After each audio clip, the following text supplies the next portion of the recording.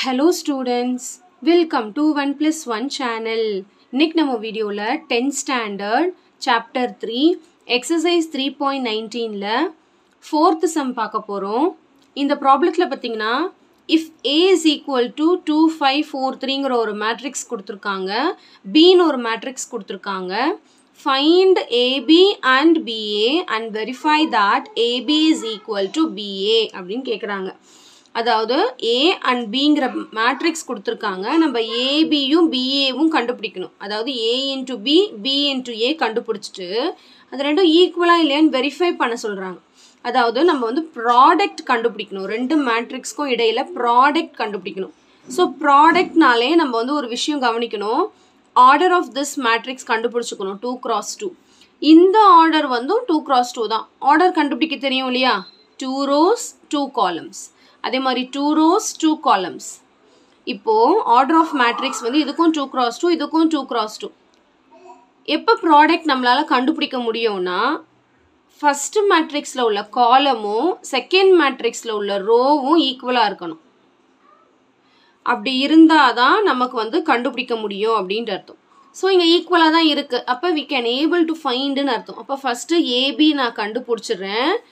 ஏபினா first ஏவை தான் எழுதணும். அடுத்து தான் பி எழுதணும். ரெண்டுத்துக்கும் இடையில மேட்ரிக்ஸ் கிராஸ் ப்ராடக்ட் எடுக்கணும். ரெண்டத்தையும் மல்டிப்ளை பண்ணணும். ஸோ மல்டிப்ளை பண்ணும்போது எப்படி பண்ணணும்னு கொஞ்சம் கேர்ஃபுல்லாக இருங்க. First row into first column first row into second column multiply பண்ணணும் இப்படி. அடுத்து அதே மாதிரி. Second row into first column second row into second column அவ்வளோதான் ரோவை வந்து மல்டிப்ளை பண்ணிவிடுங்க ஸோ நம்ம அகெயின் ரிப்பீட் பண்ணுறோம் பாருங்கள் first row into first column two into one five into two ஏன்னா இப்படி எழுதிக்கலாம் அந்த ஸ்டெப்பை கூட. Two into one five into two plus five into two புரியுதுங்களா? Two into one two into one two five into two ten அடுத்து அடுத்து first row second column புரியுதுங்களா? இல்லை நீங்கள் இந்த ஸ்டெப் எழுதாமல் டேரெக்டாக கூட எழுதலாம். Two into one two plus five twos are ten add பண்ணால் இங்கே வரணும். சரிங்களா? அதாவது ஃபஸ்ட் ரூவையும் ஃபஸ்ட் காலையும் மல்டிப்ளை பண்ணும்போது அந்த எலமெண்ட் எங்கே எழுதணும்னா ஃபஸ்ட் ரூ அண்ட் ஃபஸ்ட் காலமில் தான் எழுதணும். அடுத்து வந்து ஃபஸ்ட் ரோவையும் செகண்ட் காலமையும் மல்டிப்ளை பண்ண போகிறோம் அப்போ ஃபஸ்ட்டு ரோவில் செகண்ட் காலமில் எழுதணும்னு அர்த்தம். அந்த கான்செப்ட் மட்டும் மறந்துடாதீங்க. சரிங்களா? இப்போ நான் இந்த ஃபஸ்ட்டு ரோவையும் செகண்ட் காலமையும் மல்டிப்ளை பண்ண போகிறேன் இப்போ டூ இன்ட்டு மைனஸ் த்ரீ அப்போ செகண்ட் காலமில் நான் அதை எழுதணும். அடுத்து ப்ளஸ் ஃபைவ் இன்ட்டு ஃபைவ் புரியுதுங்களா? ஓகே அடுத்து இப்போ செகண்ட் ரோக்கு போகிறேன் செகண்ட் ரோ இன்ட்டு ஃபஸ்ட் காலம் அப்போ செகண்ட் ரோவில் ஃபஸ்ட்டு காலமில் அந்த எலமெண்ட்ஸ் வரும்னு அர்த்தம். புரியுதுங்களா? Four into one plus three into two ஏன் ப்ளஸ் போடுறேன்னு தெரியுதுங்களே? ஏன்னா plus three into plus two அப்படியே எழுத போகிறேன் சைனோட எழுதுறேன் அவ்வளோதான் ஃபஸ்ட்டு சைனை மல்டிப்ளை பண்ணிக்க அப்புறம் நம்பர் எழுதுறேன். அடுத்து second row into second column இங்கே வரும். Four into minus three three into five அதாவது ப்ளஸ் இன்ட்டு ப்ளஸ் ப்ளஸ்ஸு தான் த்ரீ இன்ட்டு ஃபைவ் ஃபஸ்ட்டு சைனை மல்டிப்ளை பண்ணிக்கிறேன் அப்புறம் நம்பர் எழுதுறேன். இப்போ எல்லாத்தையும் சிம்பிளிஃபை பண்ண போகிறோம் two ones are two plus five twos are ten அடுத்து two into minus three minus six plus five fives are twenty five அடுத்து four ones are four plus three twos are six four into minus three minus twelve plus five threes are fifteen இப்போ இது எல்லாமே simplify ஆகிற வரைக்கும் நம்மளுக்கு ஒரு matrix கிடைக்கும். Two plus ten வந்து twelve minus six plus twenty five வந்து சப்ராக்ட் பண்ணிவிட்டு பெரிய நம்பரோட சைன் எழுதணும். ஏன்னா டிஃப்ரெண்ட் சைனாக இருக்கு இல்லையா? Nineteen four plus six ten minus twelve plus fifteen வந்து த்ரீ ஸோ இதுதான் வந்து ஏபி நான் கண்டுபிடிச்சிட்டேன். இதை ஈக்குவேஷன் ஒன்னுன்னு வச்சுக்கலாம். சரிங்களா? அடுத்து வந்து நான் பிஏ கண்டுபிடிக்க போகிறேன் பிஏ கண்டுபிடிப்போமா?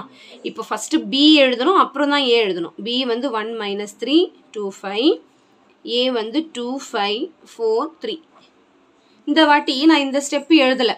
டேரெக்டாக எழுதுகிறேன் பாருங்கள் எப்படி போடுறேன்னு பாருங்கள் ஃபஸ்ட் ரோ இன்ட்டு ஃபஸ்ட் காலமா one twos are two minus three into four minus twelve அப்படியே டேரெக்டாக கூட எழுதிக்கலாம். நெக்ஸ்ட் ஸ்டெப்பில் ரெண்டுத்தையும் ஆட் சப்ராக்ட் பண்ணியும் ஆட் பண்ணியும் எழுதிக்கலாம். புரியுதுங்களா? அடுத்து first row into first column one five are five minus three into minus three my sorry minus three into plus three அப்போ மைனஸ் நயன் வரும். Minus into plus minus three three sir nine அடுத்து second row into first column two twos are four five fours are twenty அவ்வளோதான் ரொம்ப simple தான். Second row into second column two fives are ten five threes are fifteen அவ்வளோதான் சிம்பிளாக முடிஞ்சிருச்சு பார்த்தீங்களா இப்போ எல்லாத்தையும் சிம்பிளிஃபை பண்ணிக்கலாம். டூ மைனஸ் டுவெல் வந்து மைனஸ் டென்னு வரும். ஏன்னா டிஃப்ரெண்ட் சைனாக இருக்குது சப்ராக்ட் பண்ணிவிட்டு பெரிய நம்பரோட சைன் எழுதணும்.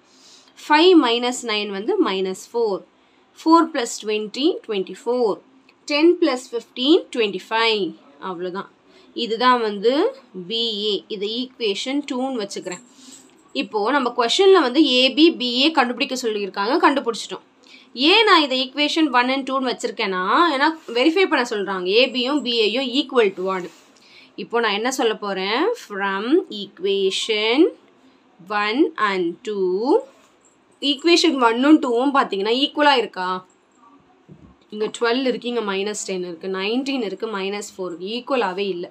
இப்போ நம்ம என்ன சொல்லிடலாம்? AB is not equal to BA hence verified அவ்வளோதான் ஈக்குவல் டு வந்துச்சுன்னா ஈக்குவல் டுன்னு எழுதுங்க. நாட் ஈக்குவல் டுன்னு வந்ததுனால நாட் ஈக்குவல் டுன்னு எழுதிட்டோம். ஓகே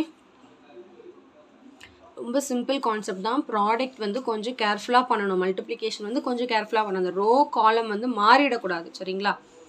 ஸோ கண்டிப்பாக இந்த சம் நல்லா உங்களுக்கு கிளியராக அண்டர்ஸ்டாண்ட் ஆயிருக்கும்னு நினைக்கிறேன்.